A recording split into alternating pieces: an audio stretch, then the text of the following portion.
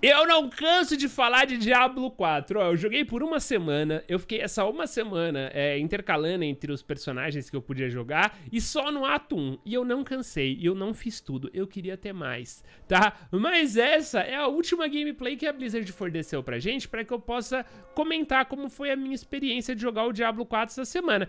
E, coincidentemente, ela é de mago, que é um personagem que eu queria muito comentar para vocês, porque é um personagem que foi muito legal, tá muito forte. Muito forte mesmo. Tanto que na entrevista com os desenvolvedores eu já perguntei sobre balanceamento e eles me falaram que é sim uma preocupação, que as coisas estão rodando bem com relação ao balanceamento, mas que eles estão sim é, de olho nisso, porque vai ser um processo que eles vão é, ficar antenados para que o jogo seja equilibrado, tá? Mas beleza, seguinte, se você não viu, eu já comentei de Bárbaro, eu já comentei de Rogue, uh, de como foi a minha experiência com esses personagens. É, e além disso, eu vou sempre comentando o que tá rolando nessa gameplay. Porque, por exemplo, nessa missão que vocês estão vendo aí, é, esse pessoal tá fazendo uma fortaleza. E a fortaleza é uma missão muito legal de fazer, porque é, eram os chefes mais difíceis disponíveis nessa, é, nessa beta, eles eram mais difíceis que as missões da campanha. As fortalezas estavam sempre dois níveis acima do nosso nível, então tudo no mundo ia escalando conforme o meu nível, isso é legal, uh, porque ia sempre ficando, né, com uma dificuldade legal. E é, as fortalezas, como vocês podem ver ali, elas estão em Nostrava e ela tá nível 42, então é dois níveis acima deles é, que estão nível 40, a minha build ia só até o nível 25, né, e eu enfrentei de fato aí é, alguma certa dificuldade, joguei no difícil, então eram desafios bem legais. Quando você termina essa missão, e normalmente é uma missão de várias etapas. Então, por exemplo, tem um lá que tinha um, um, um bicho gigante, daqueles homem-cabra, sabe? Era um homem-cabra gigante, ele era o boss. Só que tinha três é, feiticeiros soltando um escudo nele. Então eu tinha que atravessar o mapa inteiro, matar os três feiticeiros que estavam com seguranças gigantes, exércitos, tropas e tal. E aí depois eu desci e podia enfrentar o boss. Nesse aí, eles têm que destruir esses, é, essas efígies aí, ó. Tá vendo que eles estão destruindo uma efígie ali que caiu, ó? Acabou de explodir ali a efígie. Uh, que tava aqui, né? A F, aqui é uma passagem secreta, tem, tem aqui atrás. E, ah, é, tem um, tem um desses altares aqui, que é um dos, um dos negócios que tem no mundo aberto do jogo. E ele te dá bônus é, de atributo para todos os seus personagens. É muito legal isso, tá? Aliás, muito progresso é compartilhado entre os personagens, o que é bem bacana, porque você pode zerar o jogo com um personagem e puxar os outros personagens, acho que pro endgame. Os devs explicaram isso, eu não entendi muito bem.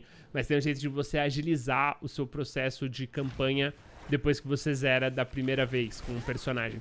Mas enfim, desculpa. E vamos lá.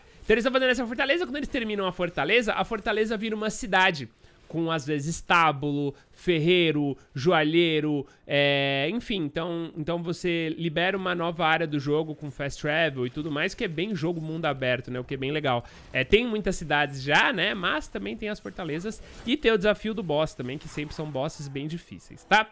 Mas vamos falar de mago, que eu sei que você tá aqui pra eu falar do mago, então vamos pra gameplay do mago. Ok, eu já expliquei como funciona mais ou menos a árvore de habilidades lá no primeiro vídeo do Bárbaro, mas se você não viu, vamos lá.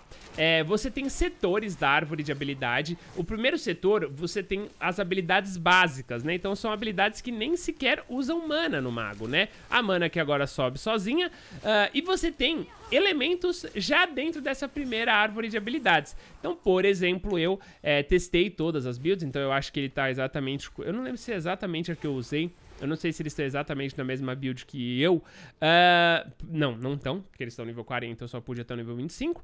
É, mas é um ataque básico, então era uma magia básica, é isso que ele fica spamando, esse rainho de gelo, e eu escolhi pelo rainho de gelo. Mas o muito legal é que você pode escolher entre os quatro elementos logo de cara. Então você pode escolher a magia básica de gelo, a magia básica de fogo, de raio e... Eu não lembro se era sombras ou sei lá. Enfim, Uh, então você tem já essas habilidades básicas. É muito legal também que, além da habilidade, que você consegue subir 5 níveis dela e isso aumenta o dano da habilidade, uh, você tem extensão. A primeira extensão é fixa, é um diferencial. Então, no caso da minha, ele adicionava... Nossa, passou um helicóptero bem agora. Ele adicionava. É, é, como era magia de gelo, o inimigo ficava lento na minha, então ele aumentava as chances de deixar o inimigo lento. E aí a terceira opção, né? A terceira variável é, é uma bifurcação. Você pode escolher um diferencial para aquela sua magia. Então, que no meu era aumentar. Ó, isso aí é o congelar, né? Que você tem a chance. Então, o meu era literalmente eu aumentava minha chance de crítico com a magia, o que fazia os inimigos congelarem. Ou eu podia escolher para dar mais dano no inimigo que tivesse com slow. Era um negócio assim. Então você tem como personalizar até a sua habilidade básica. Na segunda linha, eu escolhi a magia elétrica. Então fiz gelo e elétrico e era um combo bem legal porque a minha magia elétrica ela ia pulando de um inimigo para outro.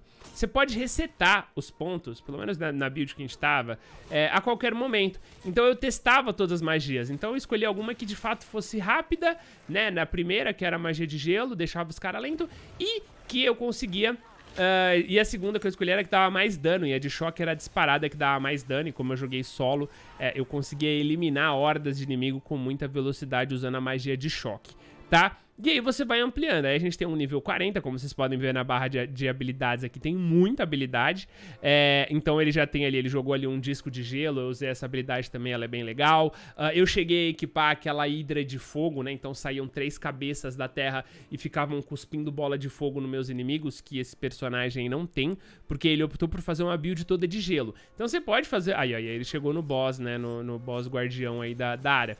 Então, essa build que vocês estão vendo aí é uma build que optou... Ó, a, o summon de espada, eu cheguei a pegar isso aqui, é bem legal também. Uh, então vocês podem ver que ele, te, ele optou por fazer uma build toda de gelo, o que é muito legal. Você pode dar essa personalidade pro seu mago. Pode fazer um mago só de raios, pode fazer um mago só de fogo, é, ou você pode fazer um mago híbrido. Então assim, a liberdade de criação é muito legal, né? Eu já vou mostrar aqui também, porque um dos vídeos que a gente tem é a personalização uh, e o visual do mago. Ficou, na verdade, eu fiz uma feiticeira, né? Uma maga. Uh, e você tem como colocar piercings, brincos, tatuagens. E a roupa é muito bonita. Uma coisa que eu não falei muito aqui é do transmog. É, o transmog, ele é você pegar uma armadura, você equipa ela, mas você muda a aparência só dela, né? Pro seu personagem ficar mais a sua cara. E eu acho que o mago, é, ele tá muito forte e ele era um dos, dos que mais me permitia... Ah, esse boss se divide em três, ó. É bem legal. É, e o Mago foi um dos que mais me permitiu é, visualizar as diferenças é, entre um e outro. Porque às vezes eu mudava a build e a aparência e parecia que eu tinha feito um boneco do zero, sabe? E eu acho que isso é bem legal, até porque como a gente tem como dar temática, né? Então, a temática gelo, temática fogo, é, você tem realmente como é, é, ter muitos magos diferentes dentro do jogo, né? Uma das coisas que o pessoal tava questionando são a, as, as classes que a Blizzard optou por colocar no Diablo 4, né? Porque eu pude jogar de Bárbaro, de Druida, de Rogue e de... Gente, Bárbaro, Druida, Rogue e Mago, né? Uh, mas, além disso, já tinha lá na tela, por exemplo, Necromante e tem mais um, né? Eu não lembro qual que é o último. Não é o Paladino, gente, esqueci. Que doideira, né? Mas enfim, uh, então a gente tinha ali. Olha, agora apareceu o Necromante e. Ué. Gente, agora até me perdi, vocês acreditam? Deixa eu ver se eu consigo achar aqui. É. Porque é o Rogue, o Druida. O Bárbaro. Não tinha mais um na minha build, que engraçado. Ué, que engraçado, gente. Que fita, né? Eu não podia filmar, então não sei. Tinha mais um na minha build. Eu tô doidão? Será, chat? Eu não lembro, mas lembro de ter mais um. Sei lá, acho que agora minha memória me traiu um pouco. Mas enfim. Uh, mas o negócio todo. Por que eu tô falando disso? Desculpa, perdi totalmente o foco. É porque uh, as builds, apesar de você. É, é, é, de você estar tá presa a uma classe, a classe tem muitos arquétipos. Isso que a gente nem tá falando ainda de Paragon, é, de endgame. Não, a gente tá falando do, da build básica, das primeiras.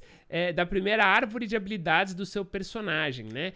Uh, e ali já é possível você fazer variedades absurdas, né? Então, ao mesmo tempo que o Rogue pode ser é, um dano muito alto, muito rápido e, e, com lâminas, ele pode ser arco elemental, atirando flecha de fogo na galera. E no caso do mago, era muito disso que você pode ter um mago de fogo e um mago de gelo, eles vão ser completamente diferentes. Um vai ser focado em causar dano de burn, enquanto o outro vai ser focado em causar slow, né? Então vai depender muito até do que você se comunicar, se você for jogar em multiplayer com a galera, se for jogar sozinho, né? É, é, é, um, é um processo que você vai é, dá muita personalidade pro seu personagem. De novo, a gente tá falando só sobre a build básica, né? A gente sabe que Diablo, o negócio dele é infinito, né? Depois que você zera o jogo, o jogo começa com os desafios, com, com, com, com a variedade absurda de, de, de, de builds, de modificações que você pode fazer. A árvore de Paragon é um negócio assustador né? É, é infinito aquela parada. Então, assim, é muito legal, porque de fato, é, no, no, papo com os desenvolvedores, eles falam que isso era um dos, um dos maiores objetivos deles,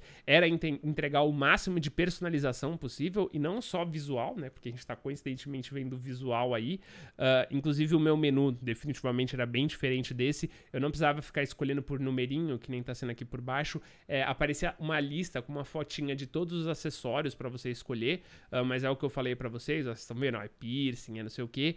Uh, e não é à toa, tá? Esse jogo, quando ele tá rodando na sua máquina, é óbvio que o vídeo aqui ele tem a questão do YouTube, né? O YouTube ele dá uma estragada no vídeo, mas na sua tela, isso aqui fica incrível, tá? Não só a parte de criação, mas a gameplay mesmo. A gameplay você consegue dar zoom, você consegue ver detalhes do seu personagem, é, o cabelo dele sai, dependendo de como for o, o elmo. É, então, então tem toda uma experiência muito legal. Outra parte muito legal da experiência é que algumas das cutscenes do jogo, eu não vou falar nada sobre o que acontece, algumas são aquele puro CGI, né? Filme mesmo mesmo, que são lindas, aquele nível Blizzard de capricho, mas algumas é, são in-game, né? Então são com personagem in-game. Então seu personagem, além de tudo, em algumas CGIs, ele aparece, né? É, então tudo isso deixa toda essa parada muito legal. Você consegue de fato perceber os detalhes de personalização visual e na gameplay você tem uma variedade gigante de criações é, e de alternâncias de magia que vão dar para o seu mago é, uma diferença, uma característica única dele, né? E aí quando você for pro multiplayer, seja pro PVP ou pro co-op com outro mago, vocês vão ser diferentes. É, tem chance de ser igual? Tem, mas a chance maior é de vocês serem diferentes se vocês não estiverem seguindo algum meta, alguma coisa. É, era a classe mais forte, tá? É, eu realmente. Demo Sorcerer, o cara aqui. É, é, a classe mais forte que eu, que eu joguei. É, solo PVE. Porque, como eu falei, tinha uma magia de choque ali, que era a minha. Mano, e, e a segunda árvore de habilidade, assim, tipo, nível 5, 6, você já pega as magias da segunda árvore. É, a magia de choque era muito forte, porque eu jogava um raio, ele pegava no inimigo, ia para outro, outro, outro, outro. Aí eu otimizei ela para pegar mais um inimigo. Uh, então, assim, ela pegava, tipo, sei lá, sete inimigos, uma magia, assim, ela pulando de um para outro, assim, e ela matava eles insta e ela voltava para mim, né? Então ela ia e voltava. É, só que quando você tinha um inimigo só, então às vezes você pega um boss na sua frente, uh, eu soltava em cima desse boss e aí ela fica quicando, tipo, sete vezes no boss. Então é uma magia que bate sete vezes, né? E você tá lançando outro ao mesmo tempo. Então, assim, muito forte, tá? É, e aí, isso é muito legal essa cena, porque mostra um, um pouquinho do da vibe do jogo, né? Essa vibe obscura, né? Mais história mais pesada. Você vê que eles entram numa igreja, né? E aí tá rolando tipo um, um, um, seria um, um, culto, né? Uma parada assim. E quando a gente chega e vai conversar, tipo, todo mundo se levanta e vem bater em nós, a gente mata todo mundo, a igreja pega fogo. É um negócio pesado, né, mano? É, né? Os caras mexem com coisa perigosa aí, né? Mas enfim, tá uma loucura, tá? O jogo é realmente. A temática dele é bem sensível, né? É, sempre foi, Diablo sempre teve. Uh, mas nesse aí eu vou falar pra vocês: tinha coisas que eu olhar e falar, os caras não tão metendo essa, né? Porque tem, tem umas cenas, meus amigos, que são pesadas, tá? E é aqui que a gente vai finalizar esse vídeo. vou deixar isso no ar pra vocês. É, se você gostou, deixe seu like, se inscreve no canal para mais conteúdo de Diablo e talvez eu ainda faça aquele vídeo que eu comentei no último vídeo sobre as principais dúvidas de vocês. É, eu não tenho mais B-roll para usar, né? Eu posso repetir os B-rolls. B-roll é isso que vocês estão vendo, né? É essa gameplay aí genérica, né? Genérica porque não é minha, mas é uma, é uma gameplay aí que só o pessoal que participou desse evento tem. Uh, mas, se você quiser saber mais coisas, se você tiver dúvida, manda aí nos comentários que com certeza eu trarei mais conteúdo para vocês, tá bom? No mais é isso, espero que você tenha gostado. Se você gostou, like, se inscreve e dá um comentário aí para ajudar o Patifinho. Fechou? E eu já tô produzindo mais coisa, que eu já tô com acesso antecipado a outro jogo muito irado. E, e, e saiu coisa de Elden Ring também, atualização. Assim, belo fim de ano pra nós, rapaz. Deixa o seu like, tamo junto, um beijo, é nóis, até a próxima e tchau!